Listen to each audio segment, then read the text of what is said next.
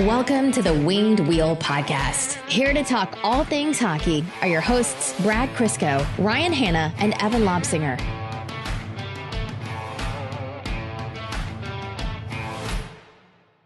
Hello and welcome to the Winged Wheel Podcast. Uh, I am one of your hosts, Ryan Hana.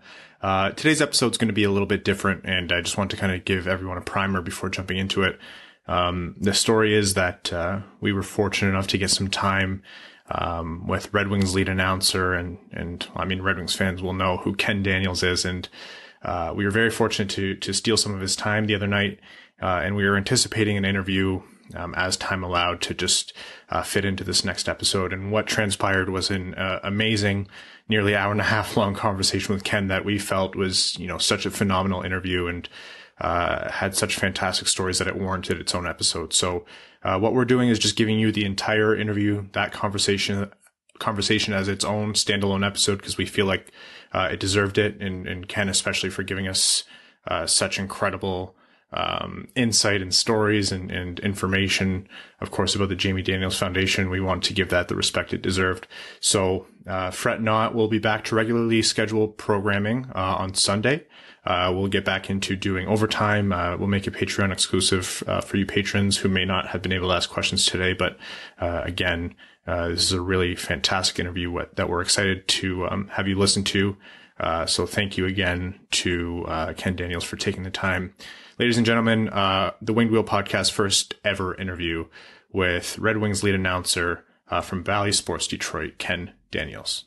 Enjoy. So we've had uh, guests on this podcast before, some really big names. I think the day we did Nick Lidstrom, that was huge for us. We were probably shaking, asking the questions. Had Darren McCarty on, uh, had Ron MacLean on. But I have to say, this is the first time we're interviewing someone who I have a bobblehead of in the podcast studio. So that's got to be a first. Ken Daniels, welcome to the Winged Wheel podcast. It is an absolute pleasure to have you. Pleasure to be here, and I wore this just for you guys, you Canadians. What a boot it. And that that bobblehead, as much as I tried to get the hair changed, doesn't look anything like me. But you know, for for Mick, you can do a bobblehead. It's easy. You got the mustache, you got the gray hair. Me, they, you know, whatever. It's okay. But that that I gotta tell you, that raised about eighty thousand dollars for the foundation, and and wow. God bless Mickey because he signed must have been two thousand of them that that were the ones that sold uh, the signs. So uh, God bless them. It was a lot of fun. It was wonderful. Thanks for thanks for having me. Well, he signed them because they they did such a good job with his face. That's why. Yeah, slimmed exactly. him down on everything. That's right. Yeah. Um, so, Ken, we have a world of questions we'd love to ask you, uh, but let's just open up with uh, the most important thing here. Um, the listeners of this show will know that uh, we've been very proud to say that we we support the Jamie Daniels Foundation. Uh, tell us a little bit about the Jamie Daniels Foundation and the work that you're doing. Well, and just uh, I guess it started in 2018, uh, so just around three years. It'll be coming up, I guess, later this month. Uh, we've raised uh, just over a million dollars. And I got to say, you guys and Prashant and what, what you guys did and, and the lack of power play success, what else you've done has been, um, has been remarkable. Just how it caught on. We didn't ask for any of that, but it's generosity of you guys. And I don't know whether it has to me being dual or whatever, uh, that Canadian thing.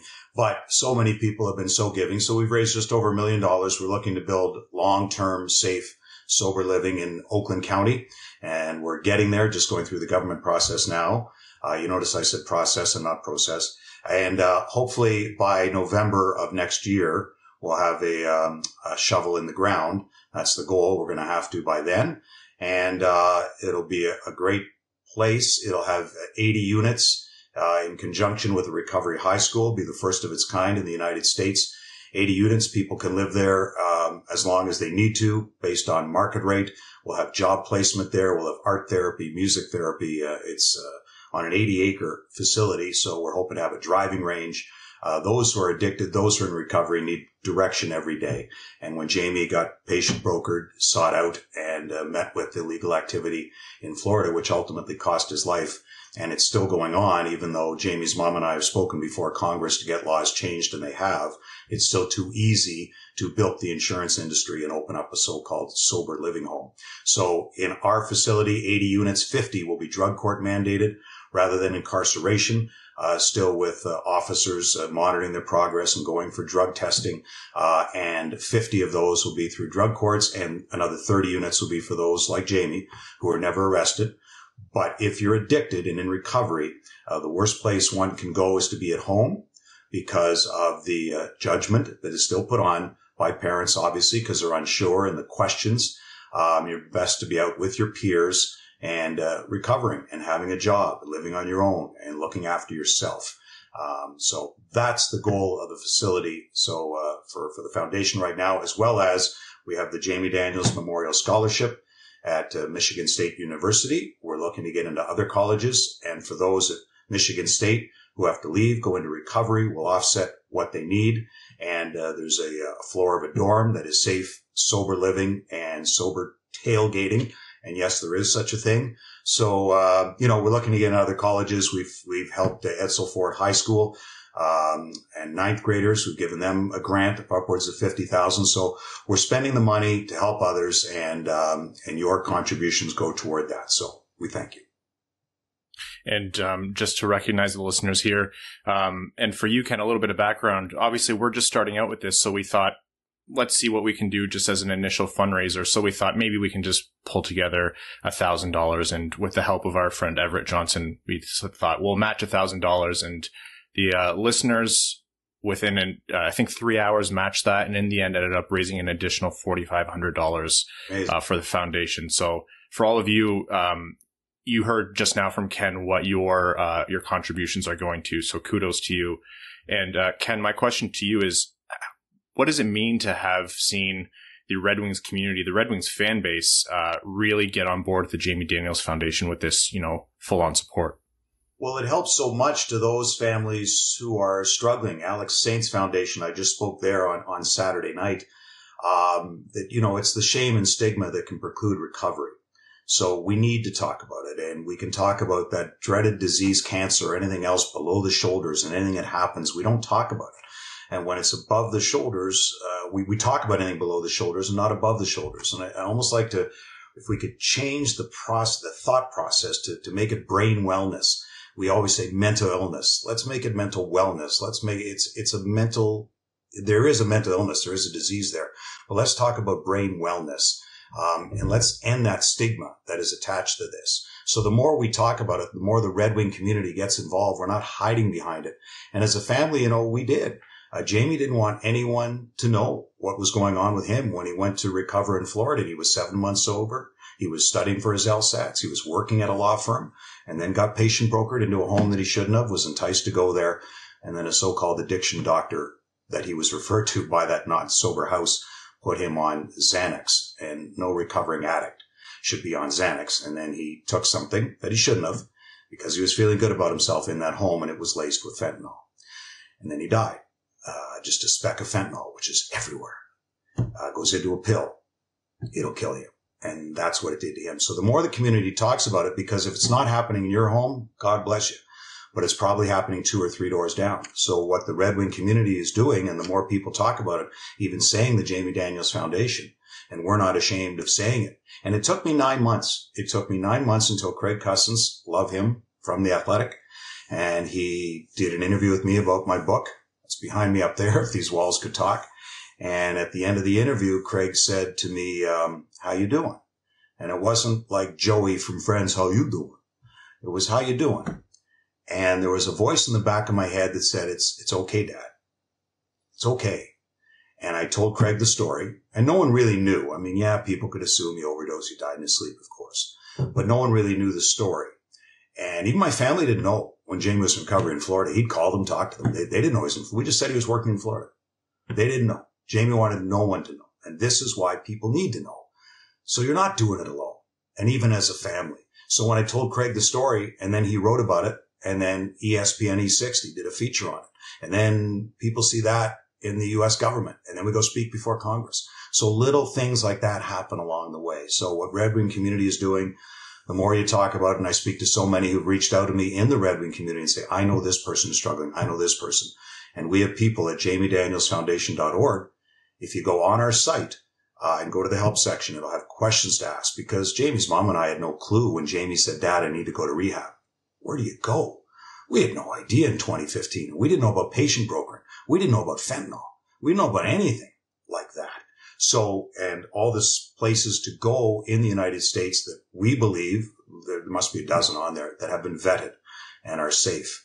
And at some point here, out of recovery, out of detox, 30 day detox, we will build our house. That'll be a safe place to live. So the Red Wing community has been wonderful. It's just about spreading the word. And that's what we're doing.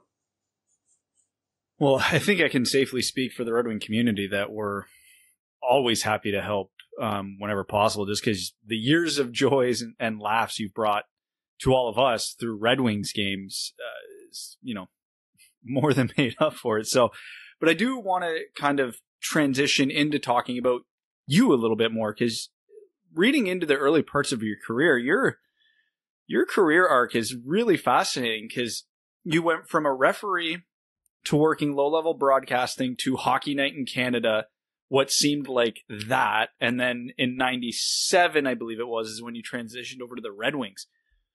How did that all happen in such a relatively short amount of time? how can I condense it in a relatively short period of time? Uh, although it's all out in my book. Um, I, I, I could sum it up by saying as a 10 year old going to sleep, I don't know if you can see over, over my left shoulder, there's a, a yellow radio. It's a yellow, you see that yellow? It's a, it's a transistor radio. It's a twist radio, yellow Panasonic radio. I went to sleep with that radio underneath my pillow listening to Foster Hewitt um, when I was eight, nine, ten years old. And I fell asleep listening to Foster. Don't forget all the games were on TV then and the Leafs were on the, the West Coast because back then, uh, it was 67 Leafs last cup. So shortly thereafter, they expanded to 12 teams in the league. So you're playing on the West Coast, the Oakland Seals or Oakland Golden Seals, whatever with the white skates. And, uh, I'd fall asleep listening to, to Maple Leafs hockey with Foster. So I literally dreamed my job. Literally. I know kids like to say literally all the time. I literally did. I fell asleep listening to Foster. Um, I can't get over how much Evan looks like Shea Weber. Holy crap. Oh my God. We've been that... saying that from day one with Evan. Honest to God. It's scary. but anyway, I digress. So, um, so I, I, and then at age 17, just wanting to do it and reading in the toilet out loud on the newspaper. Remember when there were newspapers? Uh, there still are. But uh, I'd, I'd read my mother would walk past, oh, Ken's trying to be on the radio again. And then I got a job at a cable company doing a Metro Toronto Hockey League weekly show. Didn't last very long.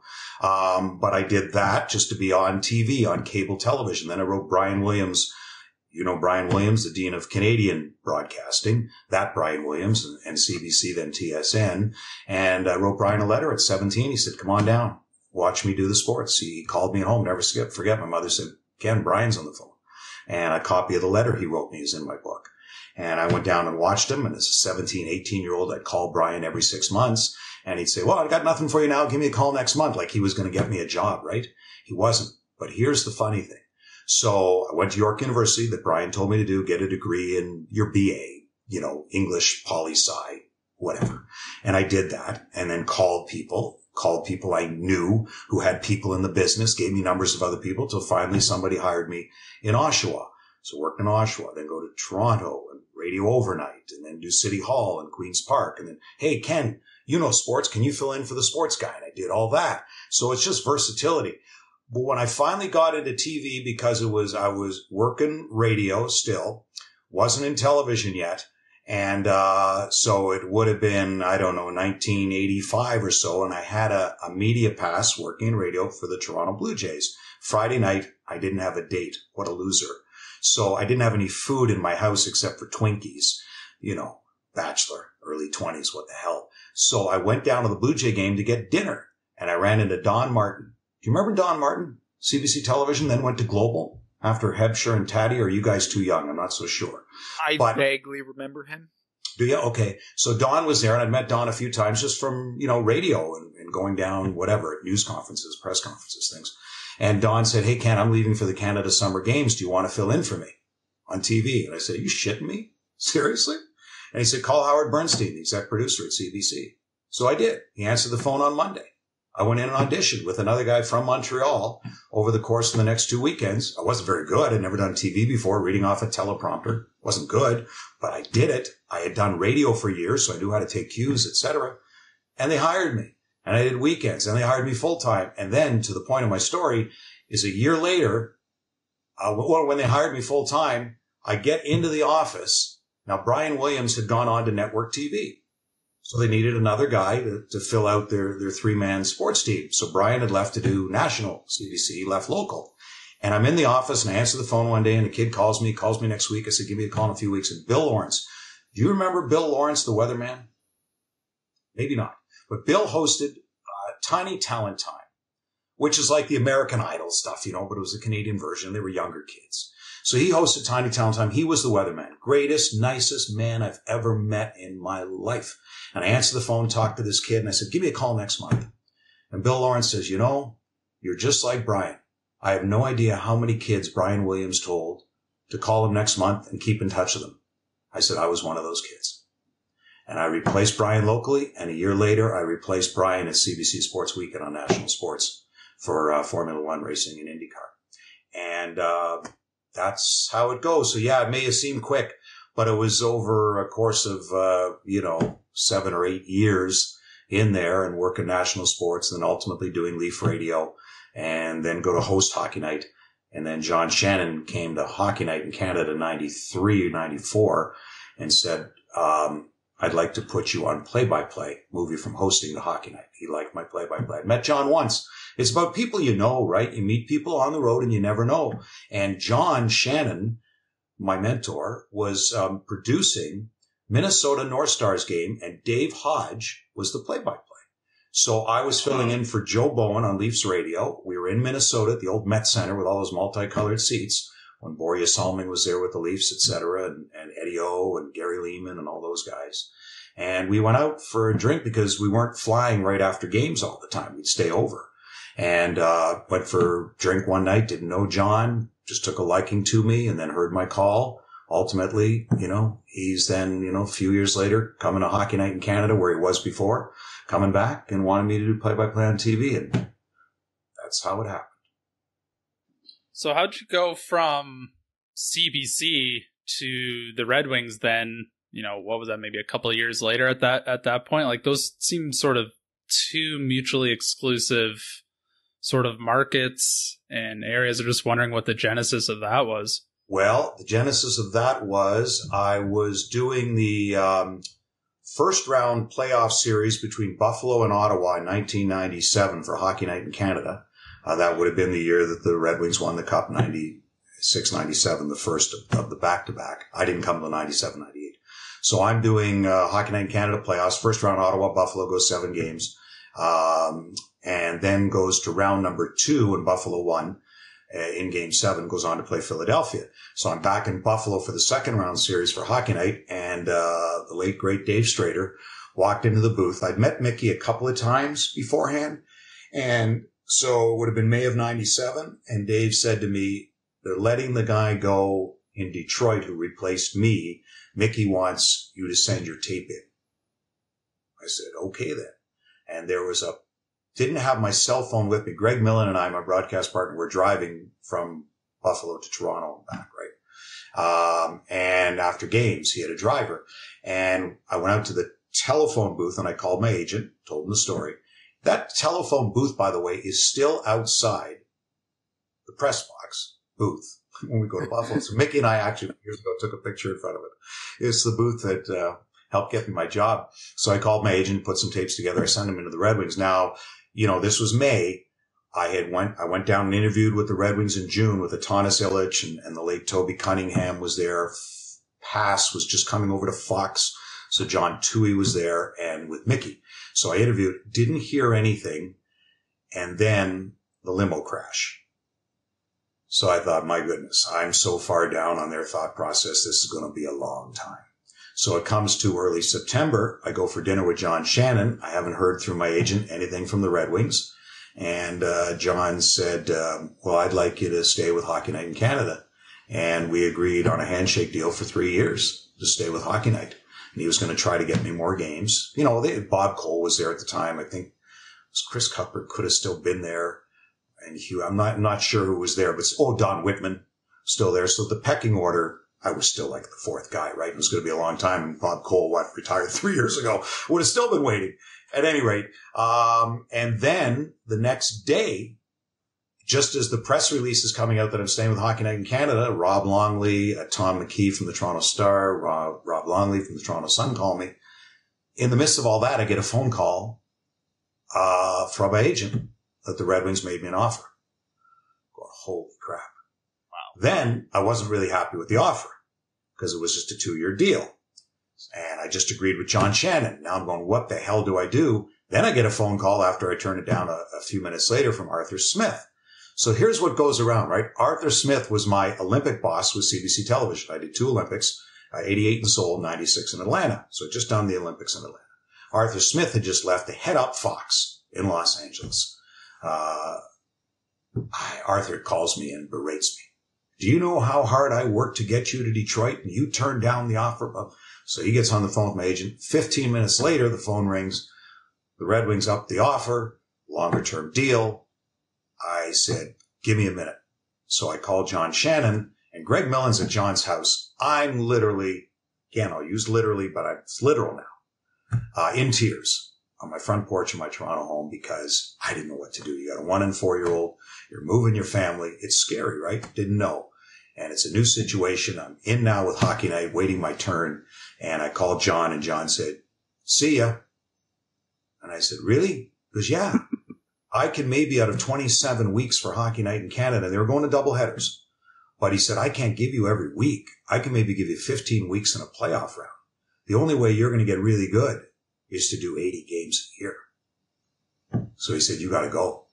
And to this day, I thank him lots and we talk lots. And, uh, you know, the roast we did virtually last year, Scotty Bowman, John Shannon put it together with Dave Hodge, did all the links in Toronto and we still talk a lot and, uh, he should still be in the business. He is sort of, but, you know, he does a podcast now with Bob McCown and, you know, and is uh, active on social, et cetera, and is no longer with Hockey Night, but, uh, I owe him a lot, so it's been great. And then with, with Mick, what, what can you say? It's been a, uh, been a fun ride. So you mentioned that you came in uh, in '97, and obviously at the tail end of everything that happened with the limo crash.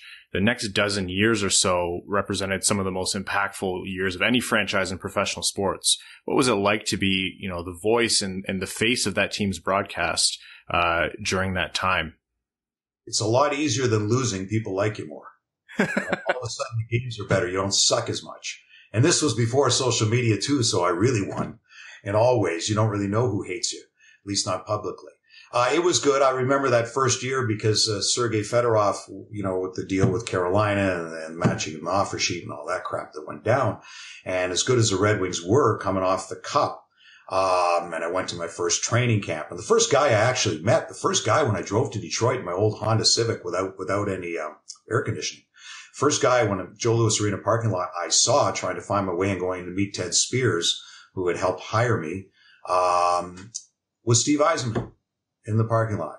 I'd met him once before, not that he would have known who I was and introduced myself. He was the first guy I met, uh, coming to Detroit. So at that time, not seeing Fedorov for those when it starts and the Red Wings are still winning, Mickey says, wait till you get a load of this guy night in and night out. Or you ever get even more spoiled. Then you win a Stanley Cup that year and you're spoiled. I got a picture in my office of Mickey and, and me and I were flying home on the extra plane that the Redbird won and, and, the Red Wings for family, and we're flying home with the Stanley Cup sitting between us. I mean, holy cow, that was pretty cool to be spoiled right off the bat like that. And uh, then I had to wait till 02 to win another one. But you know, to get a Stanley Cup ring your first year, even though I had nothing to do with it, nor have anything to do with any of them except be a part of it uh, from afar, uh, that that's pretty cool. So the first thing you said after that question was it's better to be winning. It's better when you're winning because people like you more. I yeah. would almost argue the inverse because over the last few years, we all know what's been going on with the Red Wings and some games are enjoyable to watch, some aren't. But the one thing, especially towards the end of the season that I noticed on social media really brought Red Wings fans together was the banter between you and Mickey the stories he's telling, the the conversations you guys are having as the play is going on, if it's, you know, a, a big lead for the other team. And it's objectively a terrible game to be watching for a Red Wings fan, but we're all loving the hell out of it because of you two. Understanding where the Red Wings are at in their rebuild, is this something you and Mickey plan on during the game? Like, hey, if it gets bad, let's maybe, you know, kind of do a bit more of this banter? Or is this just something that happens completely organically between you two? Organically. Completely. We've never talked about that. We know what we're doing. We know, and it's been five years of practice now. We're getting good at it. Um, no, we, we know what we're doing. But it, no, it's never been said, boy, we got to talk about this. I mean, when it's nine o'clock on a Saturday and the guy starts singing, what are you going to do? I'm not, you know, it just happens. It's, it's all organic. Um, we knew, I remember, I remember a few years ago, uh, when they were in the midst of the rebuild, even though Kenny and I talked about it, Kenny Holland and I, that it should have started earlier than it did. But going into the new building in, what was it, 17? Is that right? 17, 18, 18, 19, 19 or so, or getting there. Um, 17. probably should have started earlier than it did, but going into a new building. And I always argued with, with Ken that that's the point. You're going into a new building. The building will distract what's going on in the ice for a few years. You can start it earlier. But he held on in fairness to Datsyuk or Zetterberg, whatever, and had on. In hindsight, 2020, even though we hate to say 2020 now. Um, in hindsight, you'd rather not have done that, but he did. Um, but I remember in Ken's last year, I had spoken to him about our group going to Grand Rapids, needing discussions with him, doing features. We need to know about the draft potential in the draft and get footage from elsewhere. And he said, yeah, you're going to need some kind of shit to throw on in intermissions, aren't you? And I go, you got that right. Yeah, we do. So that was all sort of, we knew not to distract. Red Wing fans aren't stupid. They're smart. You're not going to fool anybody, but there's a way to say it. We're not going to say a guy sucks or whatever, but you know what it is. And Mickey, I think, will point it out. Yeah, are we homers? Sure, to some extent. Do we want the home team to do well? Sure. But the one thing I will never do and never have done, like some around the league will do, and I, I point out the Avalanche guys because uh, not so much the newer guys, but it's driven me crazy when the opposition scores. And I remember, oh, it was maybe five or it was, I was in my other house. It was seven years ago now. I remember I was watching a Colorado game and I left the room. Only my kitchen was 20 feet away. And I came back in. I said, when did they score? Whoever they were playing. I can't remember. And I rewound it. And the call was scores. Are you kidding me? That's a disservice to the game, in my opinion. So people say, you get excited sometimes when the other team scores. No, I get excited because I love the game. And there's a passion for the game. That's what it's about. And there's a Red Wing level when I say scores, and there's an opposition level when I say scores. It'll never meet the Red Wing level because just naturally it won't. Because that's not how I am. But there's a natural path to the game. Now, if somebody scores late in the game, you think you have it won, they pull the goal, they tie it up. Sure, it's maybe an octave lower than that. But I'm never going to do a disservice to the game. So to that end, we're not fooling Red Wing fans. We're just not. We know what it is. You try to talk about what's coming in the future. That's the truth. We do. Is the team now good? No, it's not. Uh, who are you going to leave exposed in the draft? We know. I, I'm close enough with Danny the Kaiser, but it's just the the obvious thing because the games have been met and who's going to be exposed. is just the way it is. It's a business. They're making good money. They understand. That's the unfortunate part. We hate talking about guys who are going to be traded. Not so much unfair to them. It's unfair to anybody. If you're in that situation, I know many of the players' wives and I'll see them out. I, I, I feel terribly talking. They got a family and they're moving and we, we have to understand that part of it. It's easy for us to go, oh, they're making $4 million. They're making 6 million. Wouldn't we love to? Yeah, we would. But there's still another side to it that's hard. So we take that into account. You take that into account when you're talking about the team. You're not going to rip anybody, but I think we're fairly honest and we try to put a positive spin where you can, but not a positive spin where you're lying and fooling people. At least we hope not. We've um, asked this to former players who are on the 2002 team, just kind of talk about what that it was like being on a basically an all-star team. Um, so loaded with talent. Um, I'm just wondering if there's anything about that team that sticks out to you since you have a slightly different perspective than former players might. Any interesting stories from from that team? Well, yeah, that I remember our first regular season game because we only did preseason games. We do three a year normally. Thank God they're being cut back. We only do uh, three preseason games a year. Um, they're all at home, obviously. Maybe we did one in Toronto or something. I'm probably not that year though. And and those last, remember we used to play eight or nine games, and the last two were against the Leafs. Well, those were gone anyway this year, and then it didn't happen. But um, those are gone. So um, fewer games, and I remember sitting on Redbird for that first game on the road, and and we sit. I sat toward the front, just behind management there, and. uh you know, you just see the group. Now, you know Shanahan and Yzerman, but on comes Robitaille and on comes Hull and on comes Hasek. I just said, seriously, I said, holy shit, this is, this is unbelievable. So you knew. And then you go through the season. It's incredible. It's a lot of fun. And then you get to the playoffs and you're down 0-2 to Vancouver, right? And, uh, I remember we went on the road after down 0-2 and we park our cars at the airport and we get on the plane onto Redbird and uh, Ken Holland and Scotty are already seated and I happen to walk on right behind Steve and Yzerman turns, well, I didn't have to turn Kenny and Scotty sat right across from one another. And uh, Steve says, we're not losing this series. And he walks to the back of the plane. I felt a hell of a lot better. I really did after that. And then we land in Vancouver late in the morning. And you know, the Bertuzzi, Naslund, Morrison lines going all guns and whatever. And, uh, we land and there's three cars of idiots, I guess, following our team bus from the airport all the way back to our hotel downtown Vancouver. And they got the Vancouver Canuck flags out, O2, Red Wings suck, this and that. And this, the bus was quiet. And I'm sitting right behind Kenny Holland as I did for all those years on the bus. And, uh, Kenny says, uh, turns to me and he says, this is perfect. And I said, yeah, it is. They heard it four straight after that. And the funny thing was, I remember the other story was, uh, sort of practice the next day or the next day of the morning skate. And, uh, Scotty wants to go. You know, now the coaches, they're never with the bus coming back. At least not usually. They're, they're either staying or gone or everybody leaves. And the bus is going back, you know, for lunch with the team. And we're missing somebody. And the guy's yelling, wait, wait, wait. Scotty was, let's go, let's go, let's go.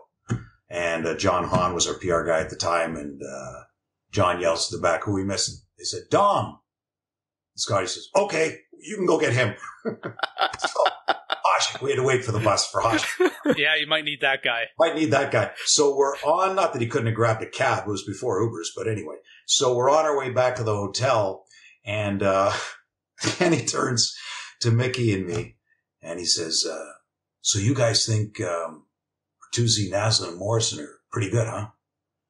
He said, well, first few games, I guess they're doing okay. So why? He goes, well, Mr. I thinks you do too. So Mickey lets out Mickey Chortle. He starts laughing. Then Kenny laughs. But I think for the next four games, I'm not sure I ever had Bertuzzi, Morrison, or Naslund touching the puck. I'm not so sure about that. anyway, I got the message. That But- one's coming down from the top. Yeah. But in all the years, you know what? Mr. I never said anything to us about how we called the game. Always loved us. Um, you know, whenever I saw Mr. I, he just loved it. So that was as close as it ever came. And I'm not sure he ever even told Kenny to say, tell those guys. I think he just oh, said, boy, yeah, all right. So Kenny decided to pass it on in Kenny's own little way to get the message across. Message accepted. Well, that was one thing I wanted to ask was, did, has anybody ever, like you guys have been doing this for quite a long time. Has anybody going ever, into a 25th year there, Shea Weber. Going into a 25th year. Matter of fact, Mickey and I are the longest serving current TV duo in the National Hockey League. And knock wood, we hope it lasts and it's well deserved, but I was just wondering if anyone that ever sort of pulled you guys aside at a commercial break or something and said, you know, you guys like, t- no, nothing. Nothing. Never. Well, that- never. Ever, ever, ever. Well, you guys are untouchable then.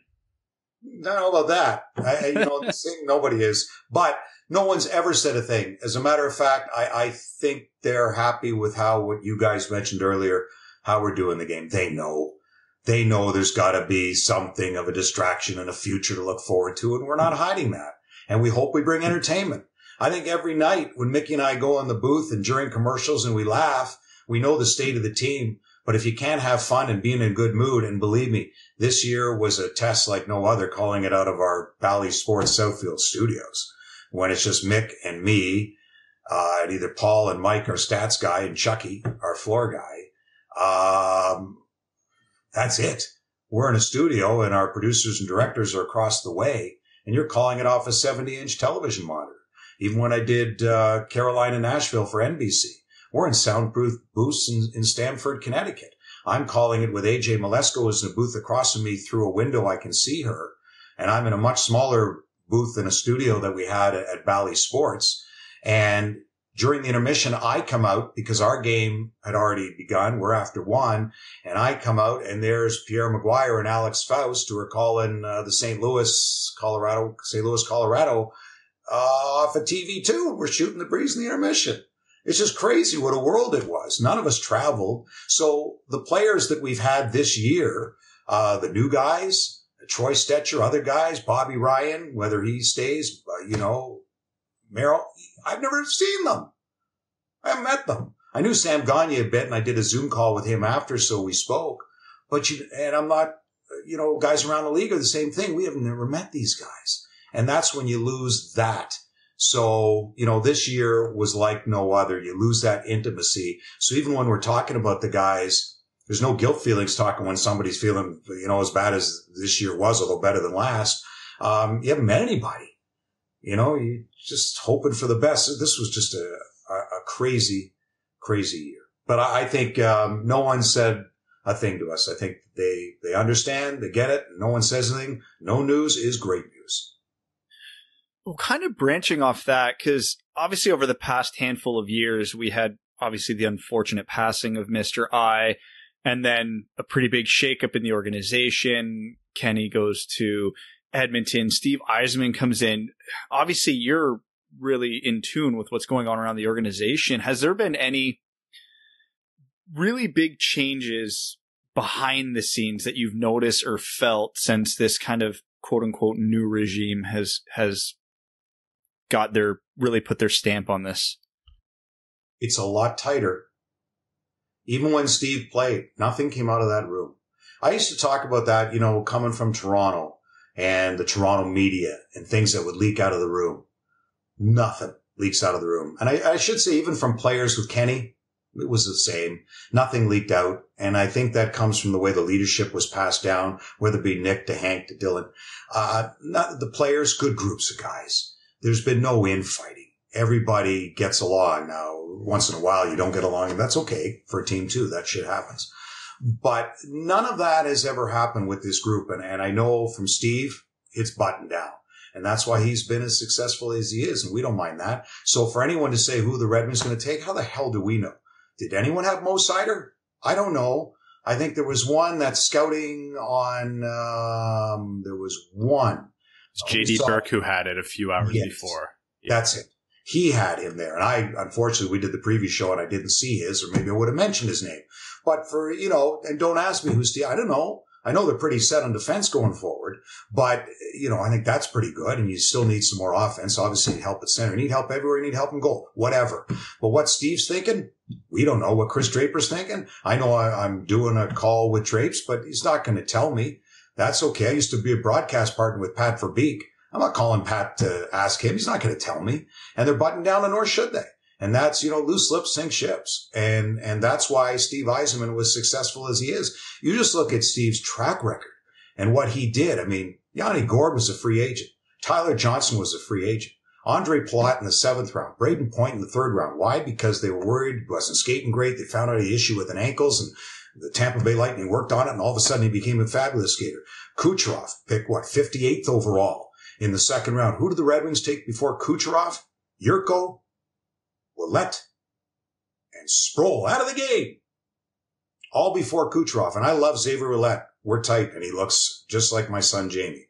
And it's uncanny. So I love him. And you look at uh, Anthony Cirelli in the third round, um, Killorn in the fourth round.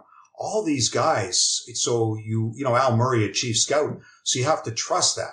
So behind the scenes to your question, yeah, the Tyler Wrights are gone and Chris Draper comes in and then you got new scouting staff and Håkan Andersson still there in Europe, of course, but you've got new scouts coming in. You have a new medical team coming in. Um, so yeah, lots of stuff behind the scenes that are very important and management staff and, and Horcoff and, you know, Cleary was there with Kenny, but still elevated. And then Jiri Fischer, what he's doing, Nick Kronwall during this lockout and he's overseas watching these guys, helping these guys and the Swedes and keeping an eye on them and mentoring them. So yes, so much has changed behind the scenes with Steve, everything and how it's run. And it's, I think it's fabulous. You just needed it. I mean, Tyler Wright moved on with Kenny. I think that they miss on lots. They did, you know, but and some were pretty good. I mean, Mantha's pick was okay. You can't really argue with it there and then what it turns into, but some they missed on. And even then, and the, you know, that you talk about Kucherov and who that was Jim Nill. You know, that was Jim Nill. That was Joe McDonnell. Those were those guys. Now, Jim Nill drafted the likes of Jason Robertson and others since, Roope Hintz. He's done okay in Dallas and he did some great work with the Red Wings too, but it's not an exact science, but you can hit on a number of years. But I think since 2011, did they hit as well as they should have? Probably not. I mean, Dylan Larkin was a fabulous pick. You could say, yeah, 25th David Pastrnak. And I know it was a choice between those two. But, you know, what Pastrnak been doing with the Red Wings, if he didn't, he's a great player. He's a great scorer. But he's got Marchand and Bergeron. So, you know, we needed help down the middle. So who would we have? If you didn't have Dylan Larkin right now, who would you have? So, you know, you can argue some of those, but, you know, there's some good picks and bad picks and it's not exact, but I just see what Steve Yzerman did in Tampa Bay and I go, okay, just have to have the trust. He knows what the hell he's doing. Um, so do many others, but I look at his track record. You came to Tampa and yes, you had Hedman and you had Stamkos, but they didn't win for years and they only won a year ago. It takes a while. And that's the one thing let me say about Ken Holland. The year before he left and, you know, he held on to the rebuild too long and he told the fans at that time, it's 10 years in a rebuild. And people scoffed and they laughed at him and said he was crazy. There are outliers and let's keep Vegas out of it. There are the odd outliers. But it is because if we're in what, I don't know, what are we now in the rebuild? Four, five, four, three? I don't know. How do you want to call yeah, it? Yeah, I'd give it five. Okay. It's been a while. Okay. You think they're now they're going back in the Atlantic and look at all the teams that are good now that are coming back into the Atlantic. Okay. So what is it? Two to three years to be right there pushing for a playoff spot? Maybe. Then how many more to go? Now you're at seven, eight. Now, you, and when Kenny said 10 years, that's to be competitive every year to win a cup. And let's use Buffalo Sabres example one. And this is without a number one pick. So I think he was unfairly criticized. Some of his, and the other thing with the draft, Steve will tell you he might overrule on a pick, but you set what you want, whether it be skill for Steve and character, etc.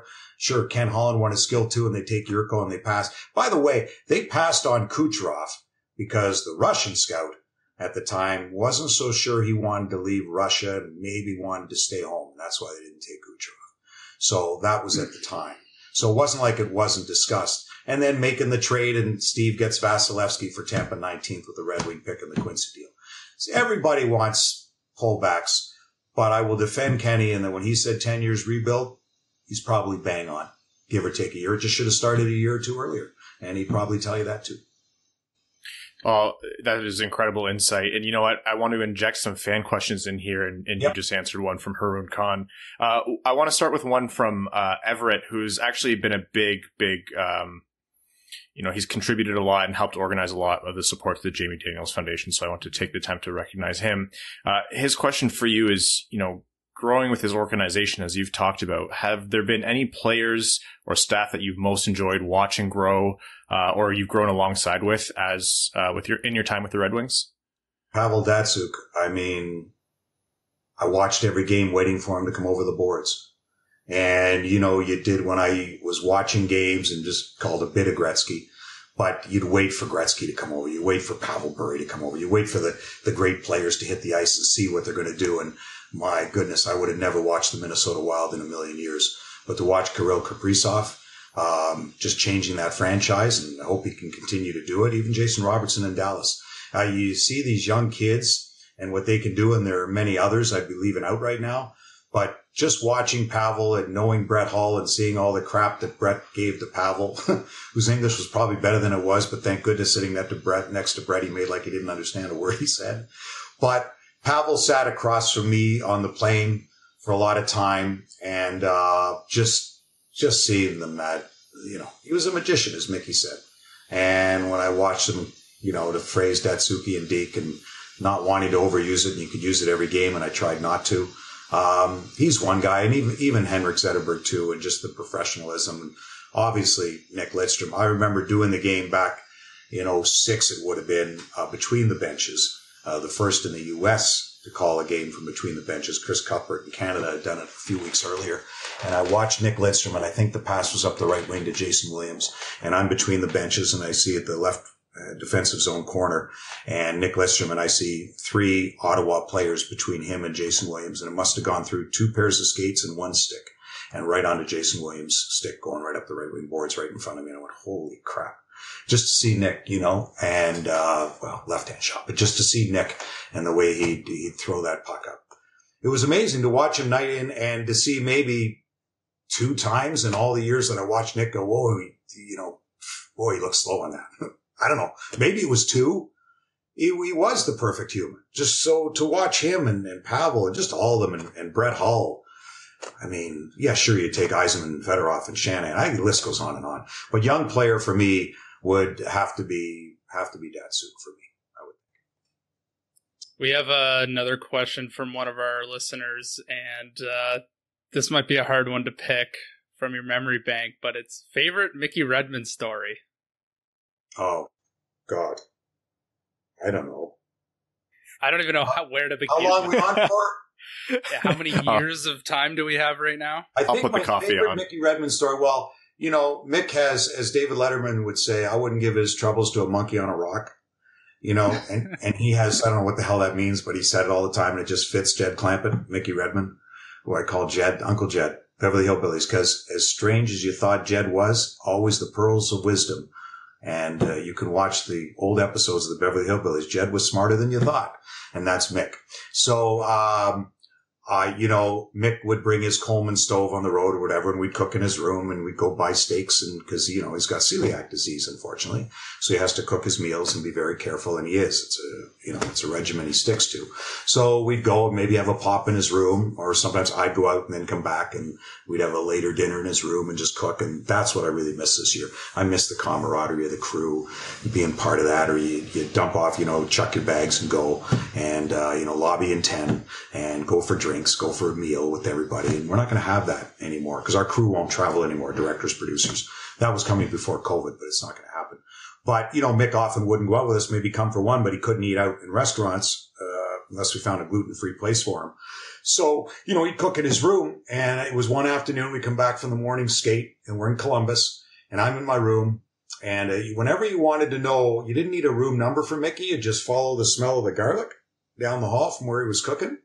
So I hear in middle of the afternoon in Columbus and I don't nap. So it really didn't matter to me. And I'm just doing notes in my room and I hear the fire alarm going off. I go, oh, Redmond. So sure enough, I open up my door. I walk down the hall and one of the, you know, the hotel personnel is standing. She's a young lady standing outside Mickey's room because I knew he was three doors down from me. And the door is wide open. There's a chair in the doorway and there's Mick in his underpants waving the towel over the fire alarm to try to get it to stop. I can I can perfectly vision, envision that. For Yeah. I fortunately or unfortunately, I'm not sure. Yeah, I wish I had my phone with me though. I wish I had my phone with me because actually years earlier, remember the year I, I guess it was '99. We lost at L.A. Was it Deadmarsh or whatever? Hated him.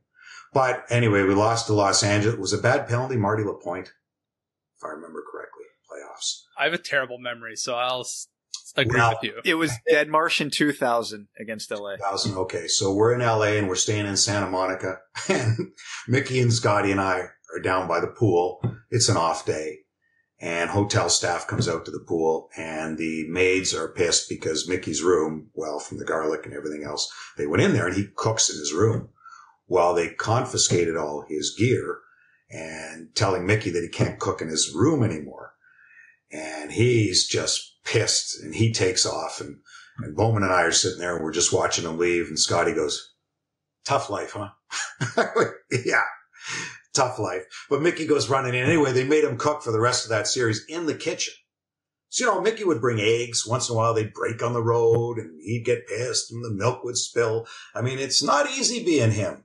And really, you know, I try to help him with his bags and we would, and everyone always pitches in. It's, but he, he works at it. I mean, he, he loves doing it and to make the sacrifices, honestly, that he makes to be part of this. Again, as I spoke to earlier, that's the passion of the game. That's what you love. And he loves the game. And if you've got the passion, it makes it fun. And, you know, as much as a pain in the ass, that's why he doesn't do all the road games because it just becomes too much. And um, that's when I can eat a little better when he's not around. But actually, you know, it's like being when you go on a canoe trip or you're around a campfire, and even though the food may not be great, it tastes better than it probably is. That's how it is in mixed room. And he fries up the onions, and we'll cut up the onions and the lemon and the steak and do the whole thing and have a drink. That's what we really miss, and just those hot stoving, as we call it. And you know, and Kenny Holland would come in or whatever, or, or the coaches, or you know, just come by and visit, and it's um, it's just a lot of fun you and Mick, and you mentioned this before, you know, you're the longest standing duo in NHL hockey. You're, you're one of the most iconic broadcasting pairs, I think, in sports right now. And, uh, whenever you hear Mick, you hear Ken. And whenever you hear Ken, you hear Mick. Um, there's a story here from one of our listeners, Arjun, who says uh, when you were in Ohio, I think, in Columbus, uh, he yelled up at the commentator booth during the intermission and threw up the jersey. He doesn't know if you remember that to sign it. We, Does that happen? Lots, but I do remember jerseys coming up. Sure, yeah. Yeah. Does that happen to you guys quite a lot when you're out now? Do you find that happening more and more? Yeah. No, not not more and more. I mean, we we get jerseys. We used to do, if you remember, years ago until the previous boss at Fox, now Bally, um, put a stop to all our birthday announcements. So because we used to get, you'd have a list of twenty birthday announcements. You know, now we do the odd one if it's team related I like to get my daughters in there. But generally, we don't do them anymore. And I think it sort of stopped when Jean Martineau, who is the long-standing head of communications for the Colorado Avalanche, been there for a long time under Pierre Lacroix in Quebec and whatever. And Jean Martineau would say, Hey, you know, uh, don't let the birthday announcement get in the way of the game. I got a cousin's cousin's cousin who has a birthday. You care to mention the birthday? Screw off, John. Anyway, that's when I realized it was probably becoming a bit too much. And then at the time, Fox put a, a stop to that. And they were probably right because we'd get notes from so and so and so and so and so and so to do it. And then if you don't do it, you feel guilty you missed it and they're watching. You know, we get sometimes you get fans over in Brazil or something else or want to say hello to somebody we tried, but and the game's so fast now and the, you know, the 20 second hurry up face offs, the ref puts his arm up. You got to make that change. Um, you barely get time to tell stories out of breaks. You're gone for 90 seconds, three times a period. You know, it's usually the first whistle after 14, 10 and six is our commercial breaks. So, you know, and then icings come over and then you can't go to break because you can't take a, you don't get a timeout on an icing. You can't go there. And, and then all of a sudden they're jammed together. You just got no time. So the game's changed. So we can't do them anymore. But yes, we do get jerseys signed and that's not an issue. And in Nashville too, you're right in the crowd. I do remember in Nashville when that, you remember that, that, that, that woman who had the, the train whistle, that tutu? Yes. Tutu played there and she kept blowing that whistle and she moved around the building. One night she was right in front of us and drove us crazy. We had security mover. Mick did. We want her gone. She's driving us nuts. So, so I thought we could hear that on the broadcast. I'm like, that went away. They must have done something. Well, Tutu left. Well, yeah, oh, during the broadcast. Well, that yeah, yeah. wasn't as loud, but there was one night, yeah, it was really loud and we got, we got sick of that. So we, we try to do what we can. So, obviously, being one of the longest tenured play by play announcers in the league, you have called a ton of iconic goals, fights, plays, whatever it might be. Is there one that you focus in on and go, that was my favorite call? Not really. I mean, I remember some, you know, face off at center and, and Zetterberg, Datsyuk late in the game against Nashville. Remember Datsyuk end to end because probably because it's played so much in the highlights, right? Um, the Datsyukian Deke there, and then the Brett Hull pass against Dallas um, when Pavel pulled it the first time. There was another one on Vokoun. And then you get Brett Hull at 700 and then Shanny goal and Fedorov milestone goal. Ciccarelli 600th. I think he was with Florida at the time and I knew Dino well enough. So, um, Yzerman 600. Um, no, just calls like that. And then I, I, guess my favorite memory, although, you know, it, it, it, was unfortunate that it happened to Ken Kal, whom I referred to as Schleprock, because anything bad can happen. It'll happen to him. And he knows it and then lost his voice in 08 in game six. And I got called in to do the radio and then handed back to Ken to call the final, um, turned out to be 10 seconds. I wish I'd give it to him at 20 seconds but I was a little late getting to him, but insisted he call it and he did. So those games more stand out to me. Brett Hull hat trick against Vancouver, know, too. So not really just one call. I, I remember as the first game of the season, Steve Yzerman scored, I think, with 2.1 seconds left to beat the LA Kings. It may have been opening night of a season. That one stands out to me. Um, other than that, uh, Bertuzzi, Todd always gives me crap on a shootout goal because I said that was Datsyukian and he said Pavel stole that move from me. What are you talking about? You know, so different goals like that, different plays, but nothing. They all run together. If you were to show me, oh yeah, that one. Oh yeah, that one. But that's not bad. I think I probably remember 10 that stand out. That's, you know, it's okay, but, um, they're all, they're all wonderful in their own right. So I think just to wrap up the hockey talk here before we get back to uh, the Jamie Daniels Foundation, and not that we want Stay with hockey talk if you like. You guys have done enough. You guys have done lots for the Jamie Daniels Foundation, and when you mention the Jamie Daniels Foundation, trust me, we know it and we love it. So don't worry about that.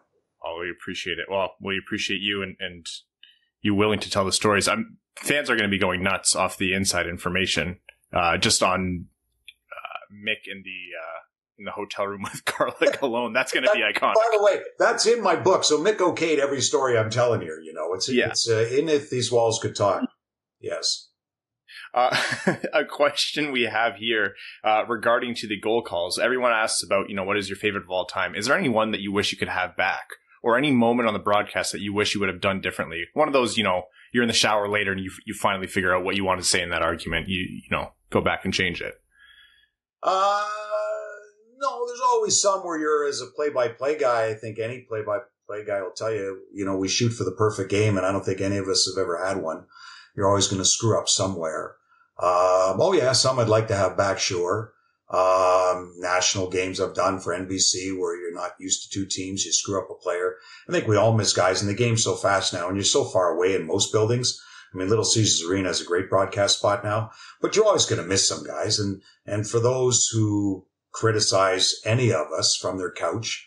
Um, you know, it's like the old Jerry Seinfeld thing and the hecklers in the crowd. He said, I'm going to come to your place of business tomorrow and I'm going to heckle you. See how you do. Like you've never made a mistake because uh, you're all perfect. I'm not saying you guys, but you know who I'm talking about. So those who will sit there with an egg on their, you know, avatar for, for Twitter, which I am not on, by the way. Uh, Good for you. Follow, Great choice. For the best. I never tweeted. Wise. Yeah. I follow it under uh, another name, but um, I've never tweeted because I wouldn't do that because it's not me. And I hate people who hide behind something and will criticize not me, anybody. I, I just hate that shit. It's it's awful to me. And this world and what they're going through and what Mark Scheifele went through and going after his parents. Who are these people? Seriously, it's a game. I know they make good money, but it's a game. Get over it. You have a right to boo. You have a right to be pissed. But to go after someone's family, their kids, or this guy should be, dick, give me a break. Who are we as a society? That's what pisses me off. And that's why I'm on Instagram. It's a friendlier world. So I'm at Ken Daniels TV on Instagram and I like to post stuff about Mick and the foundation. If I, there's some great old stuff from Mickey on there. If anyone gets a chance to see it or Gordie Howe elbowing me in the face, I like it. But I'm not out there, you know, I try to do on Instagram when the game's on, etc. But I'm not given inside info anyway. I don't have a lot of it before a game. And if I do, I'm not telling it. Or if somebody's hurt, I'm not giving it. So, cause it, you know, to have something charted and go after, I, I, it's, it's not something I need to do. I just wish the world were a kinder place, but unfortunately, um, that's not really where we're going, which I went off on a tangent. But the point of that was what? To your question again. What were oh, we talking cares? about? I do this all matter. the time. Don't worry. yeah, but the point of your question was what again?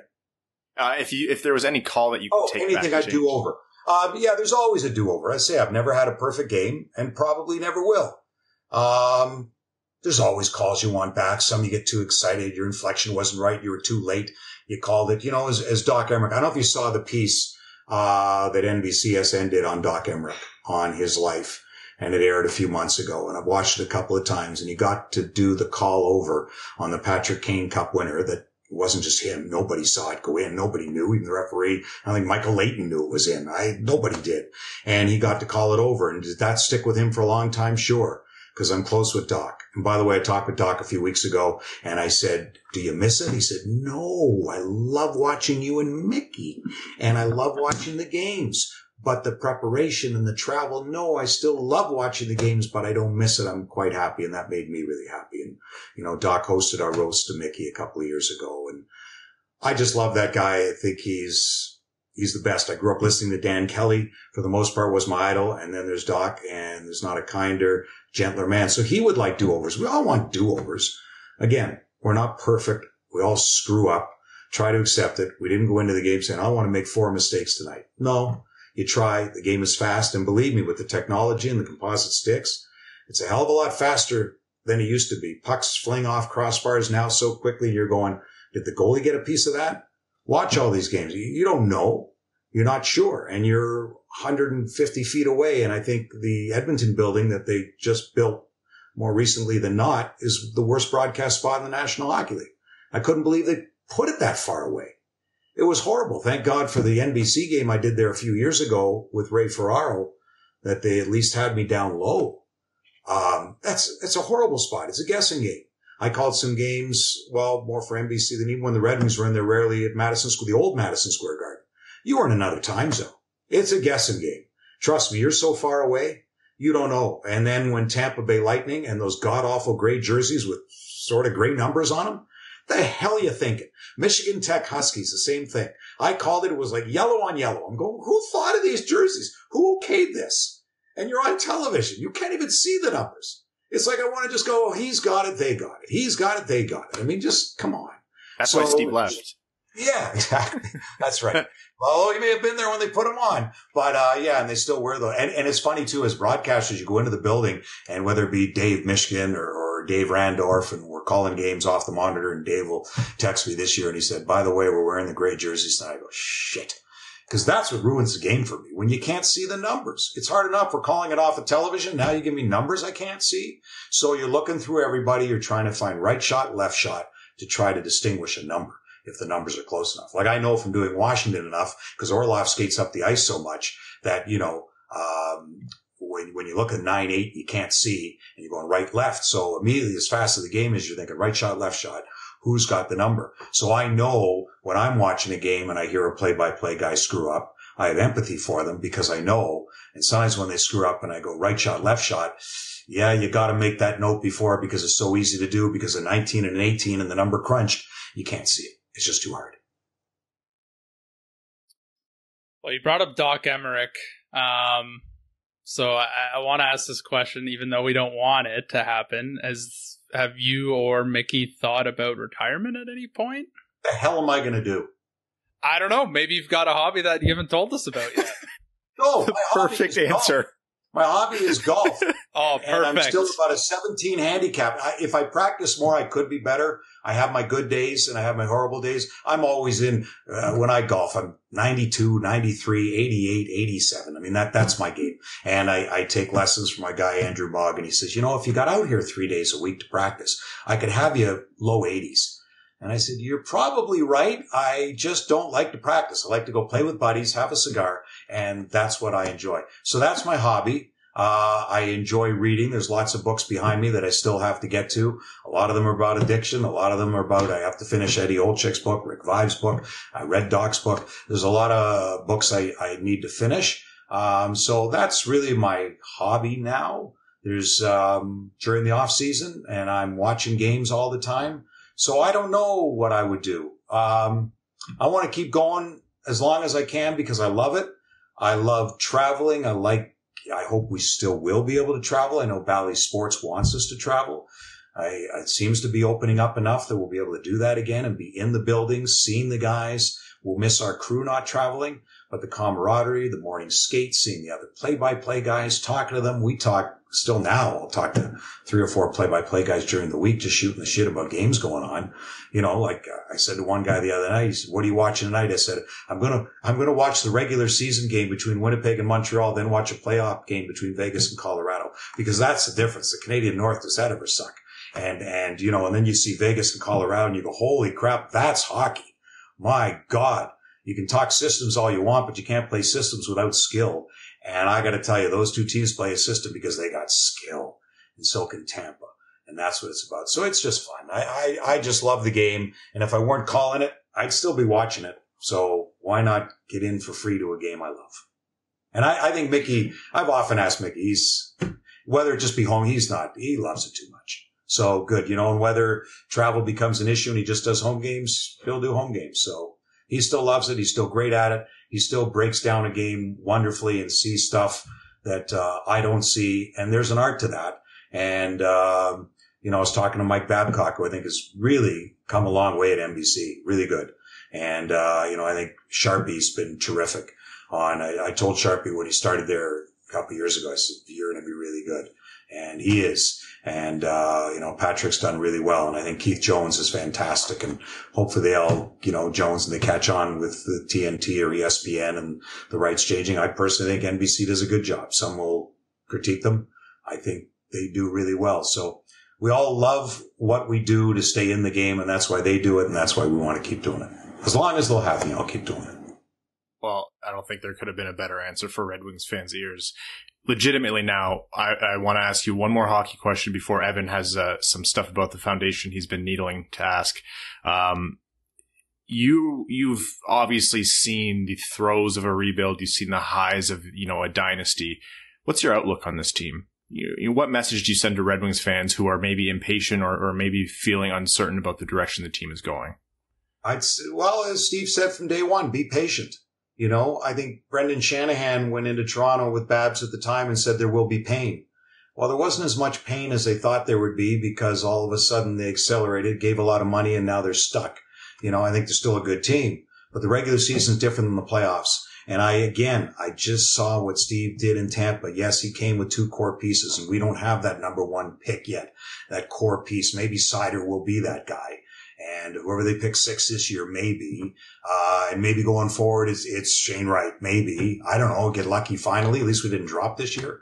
So I say with all that, the pieces are there. We got a lot of good defense prospects coming. I loved watching Niederbach. I loved watching Soderblom at six, seven. And he's just got a, boy, he protected the puck against because he was so much bigger than the other guys. But when he learns better puck protection, I think I liken Niederbach almost to a, Henrik Zetterberg, maybe not at that same level, but at that age. And I've asked some scouts about that. So again, uh, Tuomisto coming and is a big body and a big defenseman. So I, I like the future, but the future's three, you know, be patient for the next three years. Enjoy, like Mickey and I are, enjoy what you're seeing right now in the future with no pressure. And that's where people ask me too, you know, Jeff Blashill, is he coming back? I never thought he wasn't coming back, in all honesty and you're going to bring in a, a new head coach who's only going to raise expectations that are not going to be met. And you put that pressure on. And then all of a sudden, three or four years from now, and now, no matter who's coaching, now maybe you're ready to make the playoffs. And then that coach is ready for a change. Four or five years, you're going to make a change now because they don't last very long. And I know Jeff's going into what year six. I think it's perfect. And the kids are progressing. Um, so you know, I, I, I, trust Steve Yzerman and Kris Draper and Horcoff and Cleary. I just trust the guys who are running this organization and from Håkan Andersson and overseas and the scouting staff they have in place. So be patient, enjoy it, see the growth of Zadina coming, see Seider without the pressure. Maybe Rasmussen can take a step. I'm, I'm hoping, I don't know about a ninth overall pick and and where he's going to be. He's not going to be a frontline guy and don't expect too much from Joe Veleno. I don't know. Veleno's not going to be probably a number one center, can be a solid number three. Absolutely. Maybe his offense takes a level that we, we don't see coming. Maybe it does. And now he becomes a number two. Who knows? But enjoy the process of seeing these guys come along and the trades that Steve's going to make because of all the cap room that he's got. Look into the future. It's not for now. Now isn't going to do it. You're not signing big name players for now. What's the use? But you may sign some quality guys like a guy like a Bobby Ryan or a Mark Staal. They fit in very well. And boy, I watched Nemeth last night. Did he have a rough night? Oh my goodness. That was sad. But anyway, but guys like that who are coming on. So I just say be patient, enjoy it. Good things to come, good things, good fodder to talk about. Uh, no matter what they do and trades they make, just trust the process. So I wanted to circle back towards the foundation because Brad went into the hockey before I had a chance to ask this question, but that's okay. Um, what made you decide to start the like start a foundation rather than you know just having this grief and want you know talking to people about it? What was what sort of drove you to be like, okay, let's put structure behind behind this and, and start a foundation? I think it was the grief, probably, and the outlet and wanting to keep Jamie's name alive. Uh, and I think for anyone who's passed, people don't know what to say. And well, now is a little different, but early on, and for those who are listening, if you know someone who's passed, um, whether it be from this or anything, uh, doesn't have to be just from addiction, substance use disorder, be from anything. And if you just went up to that person and said, there are no words, you're right. There aren't but you're there and you feel the presence. And that's what's important. And then you can begin to talk about it. So I say to anyone to me, don't be scared to talk about Jamie. For me, and that's the foundation logo, the Jamie Daniels Foundation, jamiedanielsfoundation.org, and his logo is off a music note. Jamie loved music. The main argument we always had, Jamie and I, uh, he loved rap. And the main argument we had was that he would tell me that, that Eminem, Marshall Mathers, Marshall was more talented than Paul McCartney. And I, we'd have that argument lots. Okay. And the Marshall Mathers Foundation gave us $10,000 this year. So I'm not putting down what, what Marshall has done and now more than a decade sober for him. So congrats to Marshall and everything he's done. So, and, and wonderful organization they're doing and how, what he's overcome and, and how talented he is. But Paul McCartney, I mean, the Beatles were my all time, but you know, it was going, um, through the grief and I, I saw a friend and again, it was after talking to Craig uh, Custance and the word got out. And, uh, then I was talking to a friend and she said, I think you need to start a foundation. And we talked about that. And I said, well, that's a lot of work. I mean, how do you even start that? She goes, let me introduce you to Larry Burns, who was Children's Hospital Michigan Foundation, now the Children's Foundation. And then he said, let me introduce you to Matt Friedman as well, Tanner Friedman, and who's on the board of the Children's Foundation. And they run our 501. So they run it for us. And that's what was necessary. And the ball just started rolling. And I, I mean, to, to get the number of people who come up to me and say, thank goodness for what you're doing. And it allows us to talk about it. Or you saved my son's life. You saved my daughter's life. And it's so true just because we started speaking about it. And I didn't know what to do, but there had to be a way to say Jamie's name without feeling as much grief as I'm going to feel for the rest of my life. I say in speaking engagements all the time, the brain isn't the only organ affected by opioids. It also breaks families' hearts. And there's a hole in our families' hearts that'll never be filled, but this helps a lot. So starting the foundation was what we did, just a way to keep Jamie's name alive. Jamie loved to laugh. That's why, and Darren Pang, who's hosting our virtual roast with Brett Hull, which will probably be televised in November. The silent auction will be up, should be live, um, probably late September or so, but on my Instagram account. We'll, we'll keep you up to date on that. And I was doing the, uh, Washington Columbus series. So it would have been the year where Holtby did not start the first two games of that series, right? Was it Grubauer? Started the first. Yeah, 2018 against Columbus. Yeah, Washington won the cup. So Panger and I were working the games for NBC and I was meeting Darren for dinner. I never forget at the hotel and I had ordered steak. He said, I'm coming in. He had gone back to St. Louis and we were calling the game the next night and we're having dinner. And I said, how did it go? Because they were roasting him back in St. Louis, Kelly Chase, who hopefully will be a part of our event this year uh, for Brett Hull, and Dennis Hull will be a part of it too. And um, Darren said they roasted me. It was hilarious. And I, I said, and then we got to talking. He said, "What are you going to do for the foundation?" And I said, "I don't want to do a golf tournament." And Darren said, "Why don't you do a roast?" And Jamie loved to laugh. All his laugh was infectious. And he thought I was hilarious, which I don't know. His dad maybe was biased, but we, we laughed a lot. And I thought, that's it. And that's when it, that's how it came about. And I've never been more pleased with the decision than that. And, uh, that's, that's how it happened. Yeah, we have some listeners, you know, but and they may not really know a whole lot about the foundation. So, like when we first talked about this partner partnership, I didn't really know a lot about it either. So the first thing I did was went to the website and went under the about us and read Jamie's story, and it it was shocking to read. I had no idea things like this went on, so I totally suggest people take a read of it. You know, let it digest because it it it it blew my blew me away just reading it. But my last question I want to ask you was, what do you miss most about Jamie? Uh, well, and to your point, the E60, did you guys see the E60 that ESPN did on Jamie? If not, I'll send yeah. you guys the link. I can't send it to everybody, obviously, but I'll send you guys a link and you we'll put it in the, the, description for everyone to see. It ran in April 18, um, that ESPN did. And, uh, that helped a lot. What do I miss most about Jamie? Um, well, one, his laugh. Um, it's funny uh, when I when I spoke at this foundation the other night uh, here in Detroit, and their son who had passed just a couple of years ago, and they started their own foundation. I spoke there, a couple hundred people there, and what they're doing is great. And when I saw the description of Alex and what he was like, and met the family, it was the same thing as Jamie. Um, you know, his dad John found Alex in the bedroom. I couldn't imagine finding my son that way. A Birmingham police officer knocked on my front door to tell me I couldn't imagine finding my son. And I said to him at the time, there are no words. I can't imagine. I couldn't. Um, just like you guys can't imagine for me. That's not no disrespect. You just can't until you've gone through that.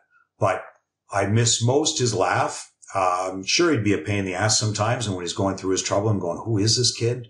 Cause you don't know. And if I only knew then what I know now, now I know to have empathy and not judgment. And empathy is the highest form of knowledge because it comes without judgment. And I wish more people had that. Um, I miss talking to Jamie after every game. Virtually every game we talk. We was at Michigan State.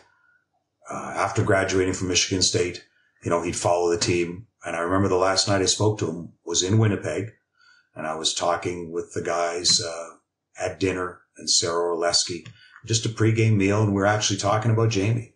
And then they all heard a few days later and, uh, all called me Dennis Beyak, everybody there, Brian Munz, everyone. And, um, I talked to Jamie that night standing outside the Red Wing dressing room and I called him. So, you know, even Winnipeg time's a little earlier. So it's probably 11 back in, in Florida, uh, where he was. And he said, you guys had a rough game. And I said, no, we won. And he said, you won? What the hell happened? Cause we were losing early. And he, I said, where were you? And he said, I went outside to paint the wheels of my car black. You're going to love it. And I said, no, I'm not. I'm probably going to hate it. And he said, no, dad, seriously, you're going to love it. I'll take pictures when I get to work in the morning. He never woke up. And he took a pill later that night, um, where someone in that house, I'm not saying he should have taken it, should have known. He knew, but he was on Xanax, because he got patient brokered and an addiction doctor who was working for that house gave him that anxiety med, shouldn't have. And he was feeling better about himself. So he took it and figuring it wasn't going to kill him, even though he should have known to take nothing, not absolving him. But the guy in that house had pills that was laced with fentanyl. And some kids who are addicted, they strive for the fentanyl. They strive for the high, but too much fentanyl will kill you. Pretty much any fentanyl can kill you. But unfortunately, addicts, if you tell them there's a drug dealer on the corner who's got fentanyl, they'll go there. They want that high. And if they hear a kid has died from that drug dealer, they'll still go, but they'll cut what they're using in half. That's how sad they are and those who are addicted. And just so people know, those who are addicted and who get high keep getting high only because they don't want to be as sick as they've ever felt in their life.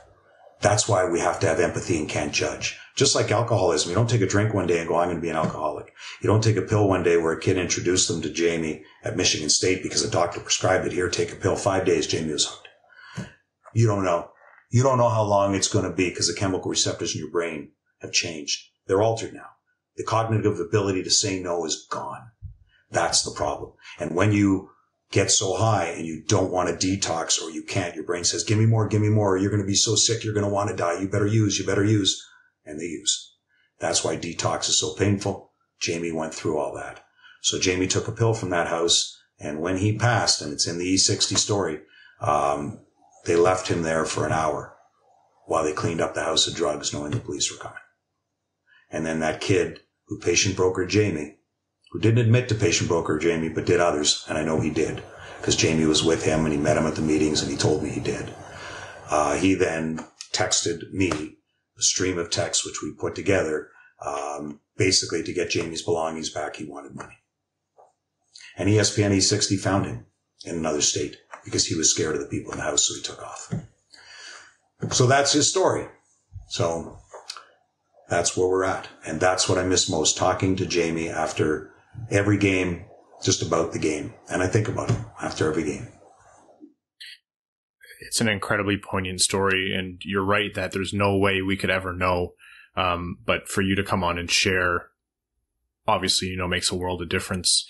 Um, this is a note that was passed along. You know, obviously substance use disorder is often silent and that individuals are afraid to seek help because of the stigma. Knowing this, what final message do you have, Ken, for anyone listening right now that is experiencing an addiction and is struggling to seek help? Well, get help and it's a family thing. Don't hide it. I know you want to hide it from your friends, but you can go on our website. There are places to go. Family's got to be involved and you have to go through that detox process. And it's, and it's not just you go through detox and then you go live. It's the rest of your life. It's just like alcoholism. It's anything. You're always going to be tempted and so many relapse and COVID and the isolation and the rates are way up in substance use disorder. It's a pandemic and this COVID pandemic has taken over that pandemic, but the COVID pandemic has exacerbated this pandemic. Believe me and the numbers are way up for those who are dying who have to go through teletherapy now, like we're doing uh, on this, and you don't have the meetings. You, you're in isolation. You don't have the camaraderie. You don't have the friends and the 12 step programs to go to, even though my son was patient brokered at one still. At the time he was there and having a sponsor, it helped. And now you're alone and you don't know where to go. So you need family. You need to seek help. And thank God to me at the time when Jamie said, dad, I need to go to rehab. I said, I've never been more proud of you in my life. And he did and he was clean for seven months until he left a safe house for the offer of cheap rent, 50 bucks a month, rather than close to a thousand a month he was paying. I was paying one of the weeks. He was paying the rest because he was working. And you know, at 23, you guys know 23 year olds, I got it, dad. I got you. I got this. I'm good. You're not good. And you don't know. You just don't. And too many kids don't. So we need to talk about it. That's the message. And for anyone, your parents, your families, anyone who has prescription pills, oxycodone, Percocet, anything in your medicine cabinets. Don't flush it because there's a big problem even up in Lake Superior and so much is going into the lake water now. People are flushing pills. That is not a good thing to do. Turn them into police stations. Get rid of them. There are disposal places. Phone. There are, are places to send pills.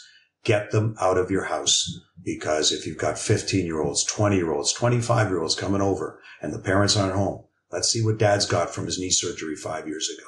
And they're still there. And my son was hooked from a friend in a frat who called me after Jamie died. I'll never forget with the team in Florida. He passed in December and it was February. And he asked me for forgiveness because he was suicidal because he was the one in his frat in Greek life, which I don't like, but that's just me, who started Jamie on the opioids. And at the time, Jamie had been on Adderall and he told us when he was clean in Florida that he faked the test from his doctor to get the Adderall because kids are under such pressure right now. So he felt anxiety, thought he was stupid, even though he was smart. He graduated from state with a 3.5, but thought he needed more time on tests in high school and then is on the Adderall. And then someone introduced you opioids. You're still on the Adderall. Then you sell the Adderall for the more expensive opioids. And then when you can't afford the opioids, you turn to heroin. The heroin's laced with fentanyl. Then you die. Jamie never shot up. Jamie was scared stiff of needles, but took pills. And ultimately the one pill he shouldn't have taken was laced with fentanyl and he died. So get rid. I say ask 50 million questions before you get hooked on Adderall. Trust me. I don't like it. It's legal. Doctors prescribe it all the time. I wouldn't be on it. I'm telling you, for me, it's a gateway. That's just me. I'm not a doctor. I have my PWP. I'm a parent with passion. That's the only doctorate I got. I'm a parent with passion, a PWP. Get rid of the prescription drugs in your house. Get rid of them. That's how it can start. Ken Daniels, folks, um, incredibly powerful message here. Uh, like he's mentioned before, go to jamiedanielsfoundation.org, learn more uh, about the mission that they're on, learn how you can contribute. There's going to be no shortage of opportunities to work with this podcast to contribute. There's going to be no shortage of opportunities with the Red Wings and everywhere else where you can work and help support the Jamie Daniels Foundation. Um, also, and if you want more stories about Ken Daniels, and uh, the incredible tales of Mickey Redmond, Steve Yzerman, Brendan Shanahan, the Detroit Red Wings. If these walls could talk, Detroit Red Wings stories from the Detroit Red Wings ice locker room at Pressbox, Amazon, wherever you get your books, uh, give it a read. It is going to be a blast. We promise you. Ken, we can't say thank you enough. And the only other ask we can have of you is that we come back and do this again another time. We will do that. Uh, you guys for everything you've done for us and even mentioning the foundation. Uh, it's not lost on us. Believe me, we truly appreciate it and uh, go Canada, eh? And start opening up. Start opening up out there. My goodness, enough of that. Heard you guys couldn't golf. What the hell were you doing? And my, oh. you know, my brother and sister in Toronto. So I know, and I haven't seen them in over a year, and it's hard, and they can't come here, and uh, they don't love me enough to go back in quarantine for 14 days. So, you know, um, I, I hope we get back to normal soon. But anytime you guys need me, I'm here. So thank you. Appreciate it. Thanks, Ken.